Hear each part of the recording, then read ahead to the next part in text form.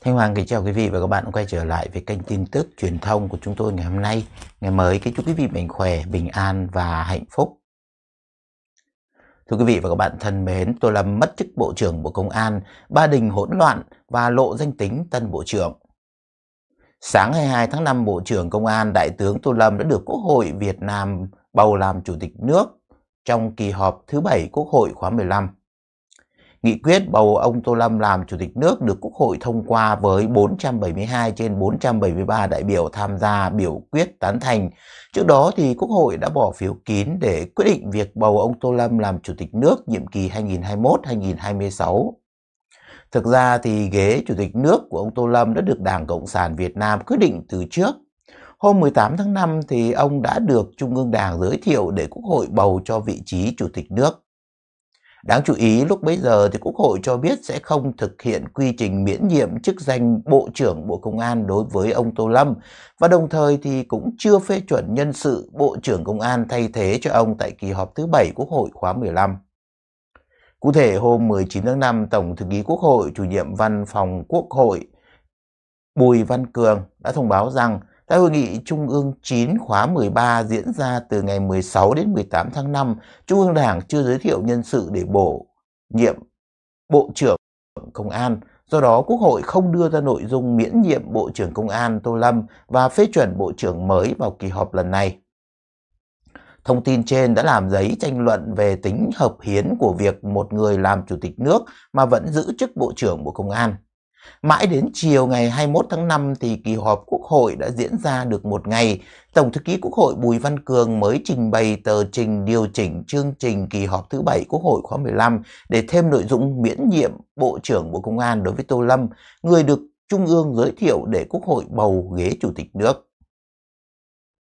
Sáng 22 tháng 5, Thủ tướng Phạm Minh Chính phân công Thứ trưởng Trần Quốc Tỏ là em ruột của cố đại tướng Chủ tịch nước Trần Đại Quang điều hành hoạt động của Bộ Công an sau khi Bộ trưởng Đại tướng Tô Lâm trở thành Chủ tịch nước. Quốc hội cũng đã thông qua nghị quyết phê chuẩn đề nghị của Thủ tướng miễn nhiệm Bộ trưởng Công an đối với Đại tướng Tô Lâm. Báo chí Việt Nam đưa tin Thượng tướng Trần Quốc Tỏ, Ủy viên Trung ương Đảng, Phó Bí thư Đảng ủy Công an Trung ương, Thứ trưởng Bộ Công an sẽ điều hành hoạt động của Bộ cho đến khi cấp có thẩm quyền kiện toàn chức danh Bộ trưởng. Thượng tướng Trần Quốc Tỏ là em trai của ông Trần Đại Quang, người từng làm Bộ trưởng Bộ Công an từ năm 2011 đến năm 2016, sau đó làm Chủ tịch nước từ năm 2016 cho đến khi qua đời vào tháng 9 năm 2018. Đúng như chúng tôi đã đưa tin trước đó do trong kỳ họp này của Quốc hội không có nội dung xem xét nhân sự để bổ nhiệm ghế Bộ trưởng Công an, nên khả năng cao Thủ tướng Phạm Minh Chính sẽ phân công cho Thứ trưởng phụ trách bộ này. Thượng tướng Trần Quốc Tỏ là người Thứ trưởng Thường trực và là Phó Bí thư Đảng ủy Công an Trung ương nên ông có khả năng cao nhất trở thành đảm đương trọng trách. Nhận định này đã được chứng minh bằng thực tế vào sáng ngày 22 tháng 5. Trước đó, ngày 19 tháng 5, Tổng thư ký Quốc hội Bùi Văn Cường thông báo rằng tại hội nghị lần thứ 9 Trung ương chưa giới thiệu nhân sự Bộ trưởng Bộ Công an. Ông Cường còn tiết lộ thêm rằng nội dung nhân sự Bộ trưởng Công an vẫn chờ cơ quan có thẩm quyền Bộ Chính trị xem xét quyết định. Điều này cho thấy nhân sự chính thức ngồi vào vị trí Bộ trưởng Công an vẫn chưa được Bộ Chính trị thống nhất nên việc Thượng tướng tỏ điều hành Bộ Công an là phương án tạm thời. Việc phân công Thứ trưởng phụ trách điều hành hoạt động của một bộ đã từng có rất nhiều tiền lệ. Ngày 7 tháng 6 năm 2022, trong khuôn khổ kỳ họp thường kỳ thứ ba, Quốc hội đã phê chuẩn cách chức Bộ trưởng Y tế bãi nhiệm đại biểu Quốc hội đối với Nguyễn Thành Long. Cùng ngày thì Thủ tướng Chính phủ đã giao cho Thứ trưởng Bộ Y tế Đỗ Xuân Tuyên, Phó Bí thư Ban cán sự Đảng, Bí thư Đảng ủy phụ trách điều hành hoạt động của Bộ Y tế cho đến khi có quyết định nhân sự và được bầu làm Bộ trưởng Y tế ở nơi cơ quan có thẩm quyền. Tới ngày 15 tháng 7 năm 2022, Bộ Chính trị chỉ định Đào Hồng Lan giữ chức Bí thư Ban cán sự Đảng Bộ Y tế. Thủ tướng Phạm Minh Chính sau đó có quyết định giao quyền Bộ trưởng Y tế cho bà Lan. Tháng 10 năm, ngày 10 tháng 2 năm 2022 thì bà Lan chính thức trở thành Bộ trưởng Y tế. khi mà được Quốc hội phê chuẩn. Điều này cho thấy nhân sự chính thức ngồi vào vị trí trưởng công an vẫn chưa được Bộ Chính trị thống nhất nên việc Thượng tướng Tỏ điều hành Bộ Công an chỉ là phương án tạm thời. Thượng tướng Trần Quốc Tỏ sinh năm 1962 quê ở Ninh Bình. Ông là phó giáo sư ngành khoa học an ninh, tiến sĩ tội phạm học và điều tra tội phạm. Ông Tỏ là đại biểu Quốc hội khóa 14-15, là ủy viên Trung ương Đảng hai khóa 12 và 13. Ông Tỏ từng kinh qua các vị trí Phó Cục trưởng Cục Cảnh sát Môi trường, Tổng cục Cảnh sát Phòng chống tội phạm, Phó Cục trưởng Cục Cảnh sát Phòng chống tội phạm, Phó Thủ tướng, Phó Thủ trưởng Cơ quan Cảnh sát điều tra Bộ Công an. Năm 2014 thì ông được điều động giữ chức Phó Bí thư Thường trực tỉnh ủy Thái Nguyên và sau đó được bầu làm Bí thư tỉnh ủy Thái Nguyên. Tháng 5 năm 2020, ông Trần Quốc Tỏ trở thành Thứ trưởng Bộ Công an và giữ chức Thứ trưởng Công an cho tới ngày nay. Trong số các Thứ trưởng hiện tại thì ông Tỏ là Thượng tướng duy nhất có trên một nhiệm kỳ, Ban chấp hành Trung ương Đảng, một điều kiện cần để trở thành Ủy viên Bộ Chính trị. Tuy nhiên thì ông Tỏ không nằm trong số ủy viên được bầu bổ sung vào Bộ Chính trị tại Hội nghị Trung ương 9 vừa qua, vì vậy mà ông khó có khả năng trở thành Bộ trưởng Bộ Công an chính thức. Bộ trưởng Công an là ủy viên Bộ Chính trị là một thông lệ, dù đây không phải là quy định bắt buộc. Các đời Bộ trưởng Công an từ năm 1975 cho tới nay đều có một điểm chung đó là tất cả đều đã được bầu vào Bộ Chính trị trước, rồi sau đó mới lên làm Bộ trưởng Bộ Công an. Và thêm nữa, Bộ trưởng Công an là chức danh đầy quyền lực có thẩm quyền điều tra sâu rộng. Nếu không có chân trong Bộ Chính trị thì sẽ không thể tham gia các cuộc họp vốn đưa ra những quyết định trọng đại đối với nội các cũng như là Đảng Cộng sản. Vì vậy, trước mắt thì ông Tỏ chỉ được phân công điều hành hoạt động của Bộ Công an chứ khó có thể trở thành Bộ trưởng Công an chính thức, trừ khi sắp tới ông được bổ sung vào Bộ Chính trị. Ông Trần Quốc Tỏ là em ruột của cố chủ tịch nước Trần Đại Quang. Gia đình của ông có 6 anh chị em, trong đó có 4 anh em trai là Vinh, Quang, Sáng Tỏ. Hai người em gái, hai người con gái tên là Nguyệt và Tuyết. Khi ông Trần Đại Quang qua đời vào năm 2018, báo Tiền Phong viết, năm 1962 khi Chủ tịch nước Trần Đại Quang mới vào tiểu học, em trai út Trần Quốc Tỏ mới sinh 3-4 tháng thì cha mất. Do nhà quá nghèo, đông anh em, nên từ nhỏ Chủ tịch nước Trần Đại Quang đã giúp mẹ làm nhiều việc của nhà nông. Ông nổi tiếng trong vùng vì học giỏi, chăm chỉ, điềm tĩnh và trầm tính. Năm 2023, Thượng tướng Trần Quốc Tỏ đã chủ trì cuộc họp bàn phim về cố Chủ tịch nước Trần Đại Quang sản xuất phim tài liệu, điện ảnh hướng tới kỷ niệm 80 năm ngày truyền thống ngành công an nhân dân. Theo thông báo thì Thượng tướng Trần Quốc Tỏ sẽ điều hành hoạt động của Bộ Công an chứ không phải là làm quyền Bộ trưởng cho đến khi cấp có thẩm quyền kiện toàn chức danh Bộ trưởng.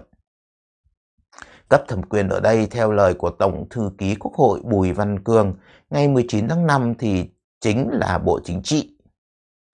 Việc ông Tỏ chỉ được giao điều hành bộ nghĩa là ông không có quyền hạn của một bộ trưởng.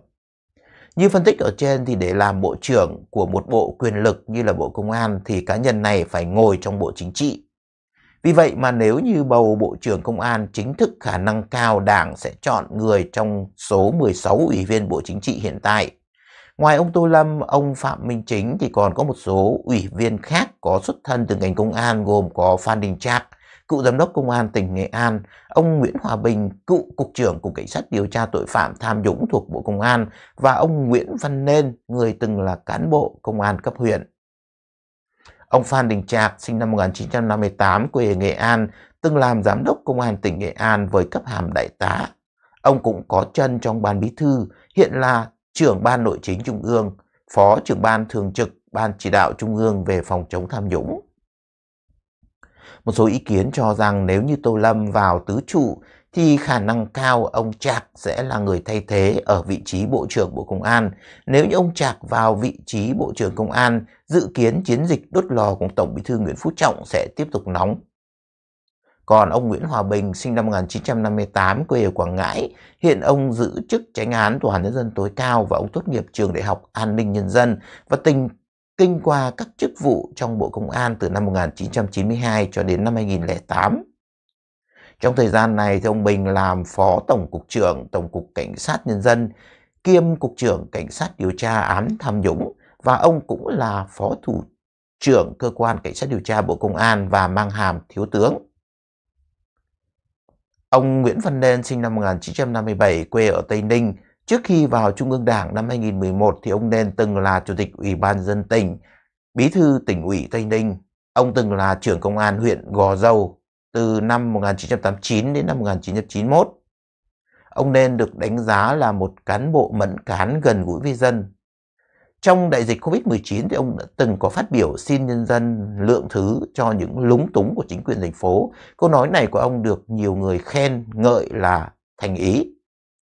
Xét tiền lệ và quy định Bộ trưởng Bộ Công an không nhất thiết phải là người có xuất thân từ ngành công an. Chẳng hạn, Đại tướng Lê Hồng Anh, người làm Bộ trưởng Bộ Công an từ năm 2002 đến 2011, là một cán bộ đảng chưa từng hoạt động trong ngành công an, Trước khi làm lãnh đạo Bộ Công an thì ông Lê Hồng Anh là chủ nhiệm Ủy ban Kiểm tra Trung ương Đảng. Sau khi làm Bộ trưởng Bộ Công an thì ông đã được phong cấp hàm Đại tướng. Xét lại trường hợp Đại tướng Lê Hồng Anh thì chủ nhiệm Ủy ban Kiểm tra Trung ương Trần Cẩm Tú cũng có thể là ứng viên cho à, chức vụ này. Ông Trần Cẩm Tú cũng đang giữ chức chủ nhiệm Ủy ban Kiểm tra Trung ương. Ông sinh năm 1961 và có lợi thế về tuổi tác khi là một trong ba ủy viên Bộ Chính trị sẽ chưa quá 65 tuổi vào thời điểm Đại hội 14. Ông cũng là người có chân trong ban bí thư. Ông Trần Cẩm Tú quê ở Hà Tĩnh, ông là ủy viên Trung ương Đảng khóa 11, 12 và 13. Tháng 5 năm 2018 thì ông được bầu làm chủ nhiệm Ủy ban Kiểm tra Trung ương khóa 12 và được bầu bổ sung vào Ban Bí thư Trung ương Đảng khóa 12.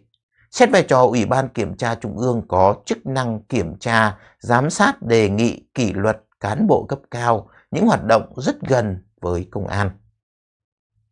Vở tuồng trò chơi vương quyền trên sân khấu chính trị Ba Đình đang có những diễn biến bất ngờ và đầy kịch tính, báo hiệu một cuộc hỗn loạn càng lúc càng sâu sắc hơn. Truyền thông trong nước đưa tin phiên họp thứ 21 như chúng tôi đã nêu ở trên và nhân sự của Quốc hội bầu cho những chức vụ còn đang bị thiếu và có lẽ nên lật lại những diễn biến chính trong cuộc đấu đá quyết liệt để giành ghế trên thượng tầng chính trị của Đảng Cộng sản Việt Nam để thấy rằng diễn biến mới nhất và bất ngờ vừa kể trên đang hàm chứa nhiều bất ngờ lớn hơn nữa trong à, vài ngày tới. Chỉ trong vòng có hai tháng, bộ sậu chấp bu của Đảng Cộng sản Việt Nam và nhà nước Việt Nam đã có tới ba vị trí bị đứt gánh giữa đường đó là ông Võ Văn Thưởng bị mất chức chủ tịch nước vào hôm 20 tháng 3, ông Vương Đình Huệ mất chức Chủ tịch Quốc hội hôm 28 tháng 4 và mới nhất là bà Trương Thị Mai mất chức Thường trực Ban Bí thư kiêm trưởng Ban Tổ chức Trung ương hôm 16 tháng 5. Cả ba quan chức chóc bu này đều bị loại vì có nhiều sai phạm, nhưng không mấy ai biết cụ thể họ đã sai phạm ra làm sao. Có điều là cú sụp hầm của ba người này cộng với ba ủy viên Bộ Chính trị bị loại trước đó, Trần Tuấn Anh, Nguyễn Xuân Phúc và Phạm Bình Minh làm cho cơ quan quyền lực nhất của cả nước bị mất 1 phần 3. Từ 18 ủy viên chỉ còn có 12 và tứ trụ bị gãy mất hai trụ. Sát thủ thực hiện những vụ hạ bệ ngang xương ngoạn mục này không ai khác chính là Đại tướng Tô Lâm, Bộ trưởng Bộ Công an kẻ đang nuôi tham vọng chiếm chiếc ghế quyền lực nhất Tổng bí thư của Đảng Cộng sản Việt Nam. Thay cho ông Nguyễn Phú Trọng chưa biết đứt bóng bất cứ lúc nào vì tuổi cao sức yếu. Cái nhân vật bị Tô Lâm hạ bệ có phần do tội lỗi của chính họ, nhưng cũng có phần do đây là những đối thủ cạnh tranh mà ông Lâm phải loại trừ khỏi cuộc đua quyền lực để bảo đảm một mình một ngựa đi tới vinh quang quyền lực, đánh ngã cùng một lúc hai trong uh, tứ trụ và loại cả thường trực ban bí thư trưởng ban tổ chức trung ương. Thế lực của ông Tô Lâm lên mạnh như là diều gặp gió và cái ghế tổng bí thư béo bở tưởng như sắp vào tay của Tô Lâm. Nhưng sự đời nhiều khi thì thật là chéo nghèo khi gần tới đích thì Tô Lâm lại phải đối mặt với một đòn hồi mạ thương thật cay đắng. Vụ thanh lọc đội ngũ ở cấp tứ trụ mà Bộ Chính trị tất nhiên đã gây ra những tai họa lớn về kinh tế và ngoại giao của đất nước trong thời gian vừa qua. Nó cũng buộc Đảng Cộng sản Việt Nam phải cấp tốc triệu hồi hội nghị Ban chấp hành Trung ương Đảng khóa 9 à, từ ngày 16 đến ngày 18 tháng 5 để mà lấp chỗ trống. Hội nghị đã bầu bổ sung 4 thành viên mới vào Bộ Chính trị và giới thiệu để cho Quốc hội bầu ông Trần Thanh Mẫn làm Chủ tịch Quốc hội và ông Tô Lâm làm Chủ tịch nước. Ông Mẫn đã tuyên thệ nhậm chức hôm 20 tháng 5 và ông Tô Lâm thì được uh, tuyên thệ nhậm chức vào ngày 22 tháng 5. Chỗ trống trong tứ trụ như vậy đã được lấp đầy và vở tuồng chuyển sang một cao trào mới hấp dẫn hơn rất nhiều. Đáng chú ý là trong bốn ủy viên Bộ Chính trị mới bầu lên không có ai là thành viên ban lãnh đạo chính phủ và các đệ tử mà ông Tô Lâm bảo kê như là các tướng như là à, Lương Tam Quang, Nguyễn Duy Ngọc hiện đều là Thứ trưởng Bộ Công an, đều không được bầu với lý do những người này chưa ngồi đủ một nhiệm kỳ trong Bộ Chính trị Trung ương Đảng. Hồi tháng 3 khi Võ Văn Thưởng mất chức Chủ tịch nước thì ông Tu Lâm đã tuyên bố sẽ không ngồi vào chiếc ghế có dớp này. Nhưng vấn đề của ông Lâm là do tuổi tác. Ông ta sẽ phải về vườn trước đại hội 14 nếu có của Đảng Cộng sản Việt Nam được diễn ra vào năm 2026. Muốn được tiếp tục leo lên thì Tô Lâm phải kiếm được một suất trong tứ trụ. Dù muốn, dù không thì Tô Lâm vẫn buộc phải ngồi vào chiếc ghế xui xẻo mà ông Thưởng, ông Phúc và ông Trần Đại Quang để lại. Và có thể thấy được rằng ông muốn được ưu đãi trở thành trường hợp đặc biệt tiếp tục lãnh đạo khi đã quá tuổi thì chỉ còn một cách duy nhất, đó là ngồi vào những chiếc ghế đó. Trong hai tháng vừa qua thì Tô Lâm tìm mọi cách làm sao để cho ông ta vừa có thể làm chủ tịch nước, vừa kiêm nhiệm Bộ trưởng Bộ Công an. Nếu không được như vậy thì cũng phải cố cài được đệ tử thân tín của mình vào chiếc ghế Bộ trưởng Bộ Công an để bảo đảm an toàn cho bản thân ông ta tránh đi vào vết xe đổ của Nguyễn Xuân Phúc, Võ Văn thường hay tệ hơn thì có thể chết bất đắc kỳ tử giống như Trần Đại Quang, sếp cũ của ông ta. Nhưng sau hội nghị Ban chấp hành Trung ương 9 vừa qua thì kế hoạch đó của Tô Lâm đã bị gãy. Theo thông lệ thì Bộ trưởng Công an là phải do một ủy viên Bộ Chính trị đảm trách và không có cửa cho các đàn em của Tô Lâm từ Thứ trưởng lên Bộ trưởng. Có lẽ Do ông Tô Lâm phản ứng mạnh, Hội nghị Ban chấp hành Trung ương đã không giới thiệu được người làm tân Bộ trưởng Bộ Công an để cho Quốc hội đóng con dấu cao su vào giống như là thông báo hôm 19 tháng 5 của Tổng Thư ký Quốc hội Bùi Văn Cường. Tình hình bất ngờ thay đổi vào chiều ngày 21 tháng 5 khi Quốc hội điều chỉnh chương trình kỳ họp, bổ sung nội dung miễn nhiệm chức vụ Bộ trưởng Bộ Công an, nghĩa là ông Tô Lâm không thể ngồi một đít hai ghế không giữ được chiếc ghế bộ trưởng đầy quyền lực công an mà chuyển sang chiếc ghế hữu danh vô thực chủ tịch nước. Chắc chắn chiếc ghế bộ trưởng bộ công an sẽ do một ủy viên bộ chính trị ngồi vào. Dư luận thì đang có những đồn đoán có thể đúng hoặc có thể là không. Ủy viên đó có thể là ông Phan Đình Trạc, thường trực ban nội chính trung ương hoặc ông Trần Cẩm Tú, trưởng ban kiểm tra trung ương. Ông Trạc hay ông Tú thì ông Tô Lâm đều gặp khó Hai ban kiểm tra nội chính thực chất là những cơ quan siêu công an chuyên điều tra thu thập tài liệu chứng cứ và đề nghị trừng phạt các tổ chức đảng và đảng viên cao cấp trước khi cho phép Bộ Công an bắt giữ, truy tố những quan chức đó. Nếu như ông Tô Lâm là hung thần của toàn xã hội, thì ông Trạc, ông Tú chính là hung thần của đám cán bộ đảng viên.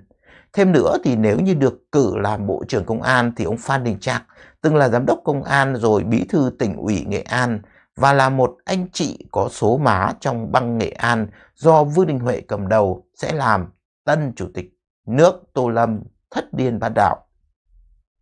Ông Tô Lâm đã hạ bệ ông Thưởng và ông Huệ bằng đòn hồi tố. Hành vi tham nhũng của hai người này liên quan đến các công ty Phúc Sơn và Thuận An xảy ra nhiều năm trước thì ai dám chắc ông Phan Đình Trạc sẽ không dùng chính đòn hồi tố đó để mà triệt hạ ông Tô Lâm qua điều tra các vụ án như Mobile Phone mua AVG trước đây hoặc là điều tra công ty trách nhiệm hữu hạn thương mại dịch vụ Xuân Cầu, Xuân Cầu Holdings do các em và cháu của ông Tô Lâm đang điều hành. So với các ông Vương Đình Huệ, ông Võ Văn Thường, hồ sơ tội phạm của ông Tô Lâm hẳn phải dày hơn và trầm trọng hơn, có vụ liên quan tới quan hệ đối ngoại của nhà nước như là vụ bắt cóc Trịnh Xuân Thanh làm đứt gãy quan hệ với Đức và Slovakia nên ông Lâm sẽ ăn không ngon ngủ không yên dù ăn thịt bò rắt vàng ngủ không yên khi mà ghế bộ trưởng công an do người không phải là tay chân thân tín của mình nắm giữ.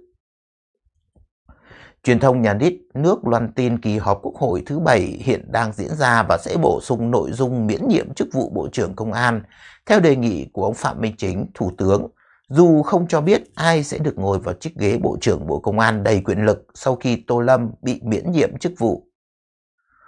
Liệu đề nghị bất ngờ làm cho Tô Lâm không kịp trở tay của ông Phạm Minh Chính có dẫn tới một vụ tái đấu quyết liệt giữa ông Lâm và ông Chính hay là không? Nên để ý rằng Tô Lâm và ông Phạm Minh Chính đều từng là Thứ trưởng Bộ Công an và giành ghế nhau rất gay gắt trước khi ông Chính chuyển sang à, chính trị làm bí thư tỉnh ủy Quảng Ninh. Còn ông Lâm thẳng tiến lên ghế Bộ trưởng Bộ Công an.